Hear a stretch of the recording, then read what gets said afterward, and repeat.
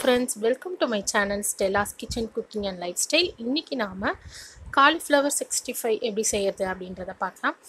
இந்த வீடியோக்குள்ளே போகிறதுக்கு முன்னாடி நீங்கள் என்னோடய சேனலுக்கு புதுசாக இருந்தீங்கன்னா ப்ளீஸ் என்னோட சேனலை சப்ஸ்கிரைப் பண்ணுங்கள் அப்படியே பக்கத்தில் இருக்க பெல் பட்டனை ப்ரெஸ் பண்ணுங்கள் அப்போ தான் ஃபர்தராக நான் அதாவது வீடியோஸ் போடும்போது உங்களுக்கு ஒரு நோட்டிஃபிகேஷன்ஸ் வரும். நான் போடுற எல்லா வீடியோஸையும் நீங்கள் உடனுக்குடனே பார்க்கலாம். வாங்க ஃப்ரெண்ட்ஸ் இந்த டேஸ்டியான காலிஃப்ளவர் சிக்ஸ்டி ஃபைவ் எப்படி செய்யுதுன்றதை வீடியோக்குள்ளே போய் பார்த்து தெரிஞ்சுக்கலாம். ஃபர்ஸ்ட் நாம் காலிஃப்ளவர் சிக்ஸ்டி ஃபைவ் செய்ய தேவையான பொருட்கள் என்னென்ன அப்படின்றத பார்க்கலாம். காலிஃப்ளவர் நான் இன்றைக்கி ஒரு மீடியம் சைஸ் காலிஃப்ளவரில் பாதி காலிஃப்ளவர் தான் செய்ய போகிறேன் ரெண்டு டீஸ்பூன் கார்ன்ஃப்ளவர் ரவை ஒரு டீஸ்பூன் இது வந்து கிறிஸ்பினஸ்க்காக அரிசி மாவு ரெண்டு டீஸ்பூன் நீங்கள் செய்கிற குவான்டிட்டிக்கு ஏற்ற மாதிரி இதை இன்க்ரீஸ் பண்ணிக்கலாம். கரம் மசாலா ஒரு டீஸ்பூன் வெறும் மிளகாய்த்தூள் ஒன்றரை டீஸ்பூன். உங்களுக்கு ஏற்ற மாதிரி நீங்கள் காரத்தை போட்டுக்கலாம். மஞ்சள் தூள் கால் டீஸ்பூன். இது காலிஃப்ளவர் வேக வைக்கும் போது நம்ம சும்மா அதில் போட்டு எடுக்கிறதுக்காக. சீரகத்தூள் ஆஃப் டீஸ்பூன். தனியாத்தூள் ஒரு டீஸ்பூன். லெமன் வந்து ஆஃப் எடுத்துக்கிறேன். நீங்கள் ஜூஸ் எடுத்திங்கன்னா ஒரு டீஸ்பூன் எடுத்துக்கோங்க. உப்பு தேவையான அளவு. ஃபுட் கலர் வந்து கால் டீஸ்பூன் அதாவது கேசரி கலர் எடுத்திருக்கேன். உங்களுக்கு வேணான்னா விட்டுடலாம். ஜிஞ்சர் கார்லிக் பேஸ்ட் ஒரு டீஸ்பூன் அதாவது இஞ்சி பூண்டு விழுது. சுகர் வந்து கால் டீஸ்பூன் ஜஸ்ட் அந்த டேஸ்ட்டை தூக்கி கொடுக்கறதுக்காக. தயிர் மூணு டீஸ்பூன். கொஞ்சம் கருவேப்பிலை அதை சேர்த்து நம்ம வறுக்கும் போது நல்லா ஃப்ளேவர் நல்லாயிருக்கும் எண்ணெய் தேவையான அளவு அந்த காலிஃப்ளவர் சிக்ஸ்டி ஃபைவை வறுக்கிறதுக்காக. தண்ணீர் தேவையான அளவு இப்போ வாங்க எப்படி செய்யறது நம்ம வீடியோக்குள்ளே போய் பார்க்கலாம். ஃபர்ஸ்ட் வந்து நம்ம காலிஃப்ளவரை சுட தண்ணியில் போட்டு எடுத்துக்கலாம். அதுக்காக நான் ஒரு அடுப்பில் ஒரு பெரிய பாத்திரத்தை வச்சு அதில் ரெண்டு சொம்பு தண்ணி ஊற்றிருக்கேன் இந்த தண்ணி சூடாகிறதுக்கு முன்னாடி நம்ம இந்த காலிஃப்ளவர் சிக்ஸ்டி ஃபைவ்க்கு தேவையான மசாலாவை வந்து ரெடி பண்ணி வச்சுக்கலாம். ஸோ நமக்கு சீக்கிரமாக வேலை வந்து முடிஞ்சிடும் ஃபஸ்ட்டு ஒன்றரை டீஸ்பூன் மிளகாய் தூள் சேர்க்குறேன்.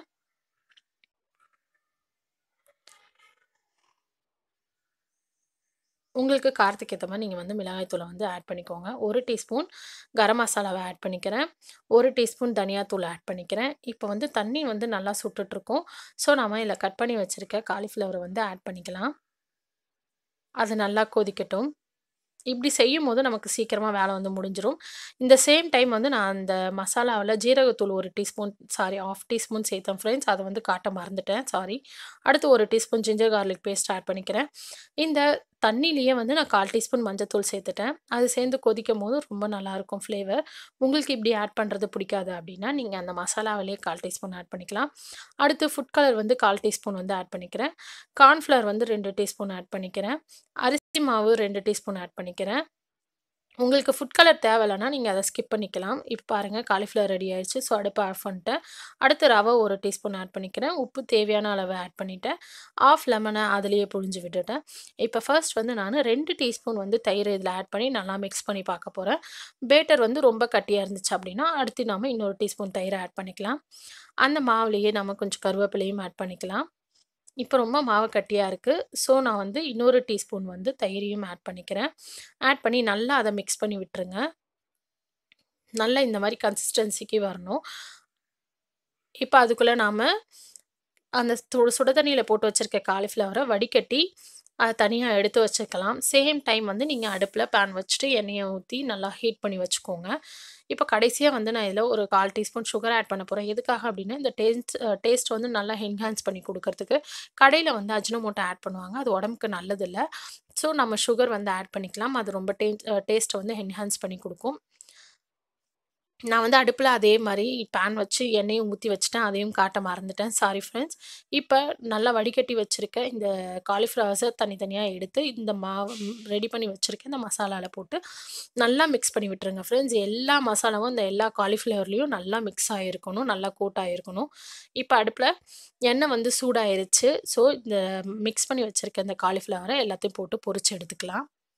ஆல்ரெடி நம்ம சுடு தண்ணியில் போட்டு எடுத்து வச்சுருக்கிறதுனால இந்த காலிஃப்ளவர் சீக்கிரமாக குக் ஆயிரும். அந்த வெளியில் இருக்க பேட்டர் மட்டும் நல்லா கிறிஸ்பினஸாக குக் ஆனால் போதும்.